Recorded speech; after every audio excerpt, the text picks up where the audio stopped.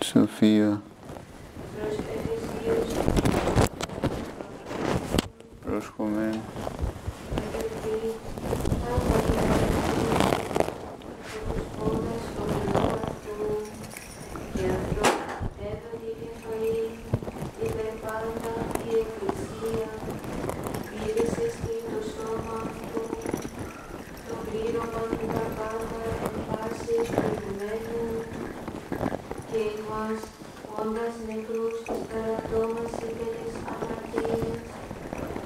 Ενέσποτε δε επατήσατε κατά τον αιώνα του κόσμου τούτου, κατά τον άρχοντα της εξουσίας του αέρος, του πνεύματος του νυν ενεργούντος εν της ιής της απειθίας, ενείς και εμείς πάντες ανεστράφημε ποτέ εν τες επιθυμίες της αρκώσιμων, διούδες τα των διανοιών, και είμαι τέκνα φύσεων γης, ως και η γης Ειρήνηση. Σοφία ορθή, ακούσομεν το Αγίου Ευαγγελίου.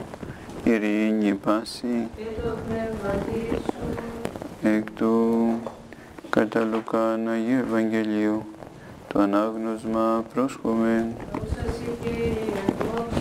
το καιρό εκείνο ήρθε ο Ιησούς στην οικία Σίμωνος.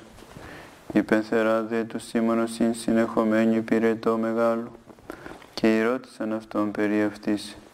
Και επιστάσε πάνω αυτής επετίμησε το πυρετό και αφήκεν αυτήν.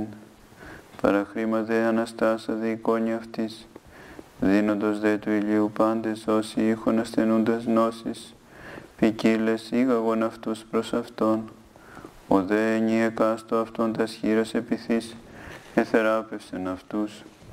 Εξήρχετο δε και δαιμόνια από πολλών κράζοντα και λέγοντα ότι εσύ ο Χριστός ο Υιός του Θεού και επιτιμών ουκ ία αυτά λαλήν ότι είδησαν το Χριστόν είναι αυτόν το Χριστόν αυτόν είναι.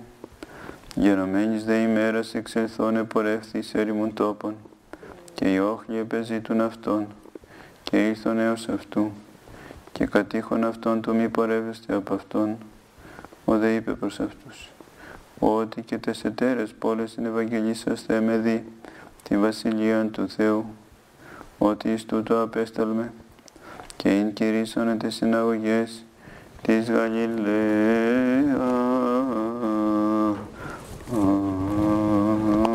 Δόξα σε Κύριε, δόξα σε.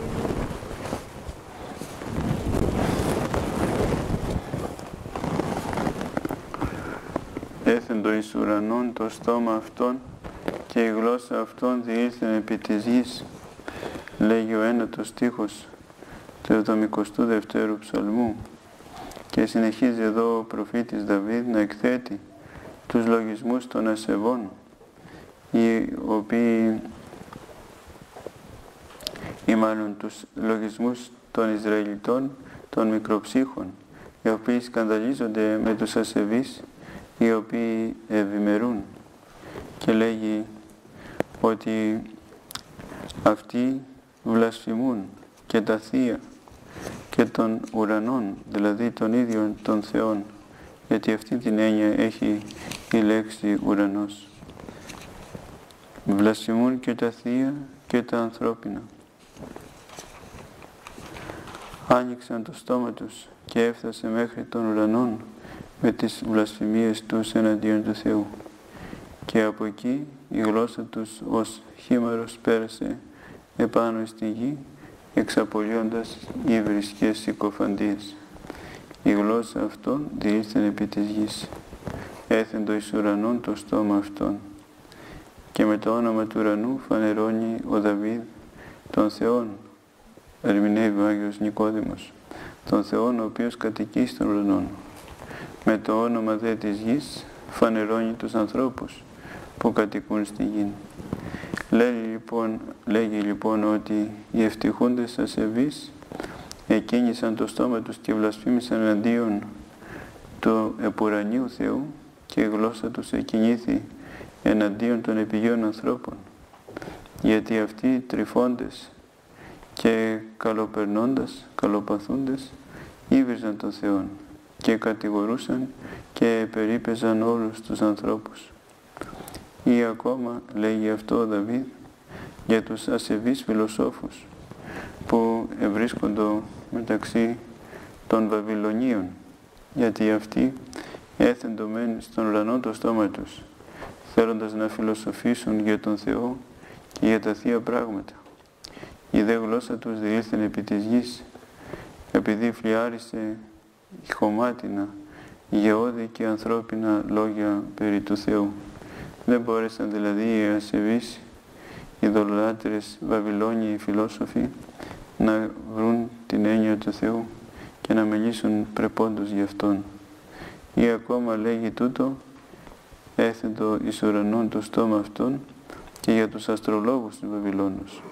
Γιατί έβαλαν αυτοί στον ουρανό το στόμα τους μετεωρολογούντες για τα ουράνια αστέρια.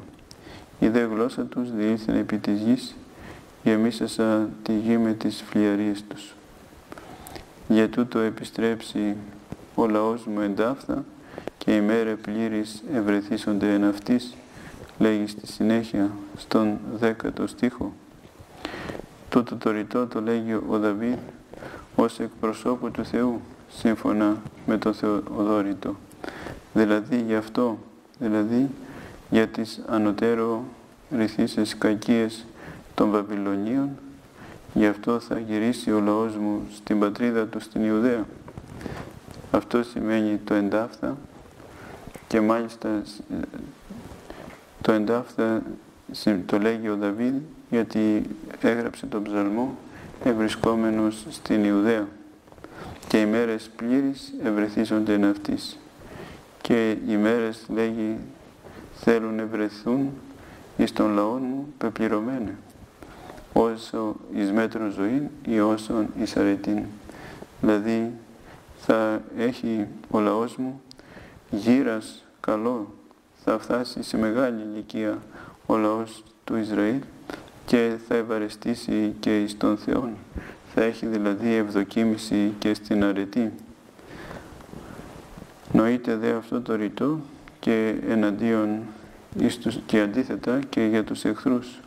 Δηλαδή θέλουν ευρεθούν εις τους εχθρούς του λαού μου ημέρες γεμάτες από κακία ώστε να μην λείπει καμία πονηρία από αυτές. Οι μέρες πλήρης ευρεθίσονται εν αυτής. Και βλέπουμε επομένως ότι ο, ο, ο μικρόψυχος Ιουδαίος έχει λογισμούς εναντίον αυτών οι οποίοι ε, ε, ευημερούν ενώ είναι ασεβείς αλλά έχουμε και τη λύση που δίνει ο Θεός ο οποίος τελικά προστατεύει τους στοχούς και αυτούς που τον αγαπούν και τους δίνει και πλούτο αρετής και μακροημέρευση και πολλά έτη επί της γης ημέρες πλήρης ευρεθίζονται αυτής και προς τούτης επιστροφή στην πατρίδα γιατί δεν μπορεί η αδικία να βασιλεύει για πάντα. Το δε Θεό ημών δόξα πάντοτε νυν και αεί και εις τους αιώνας των αιώνων. Αμήν. Υπομεν πάντες εξ όλης της ψυχής και εξ όλης της διανοίας ημών υπομεν. Κύριε Παντοκράτορο Θεός των Πατέρων ημών, δεομεθά σου επάκουσον και ελέησον. Ελέησον εμάς ο Θεός κατά το μέγα έλεος σου. Δεόμεθά σου επάκουσον και ελέησον.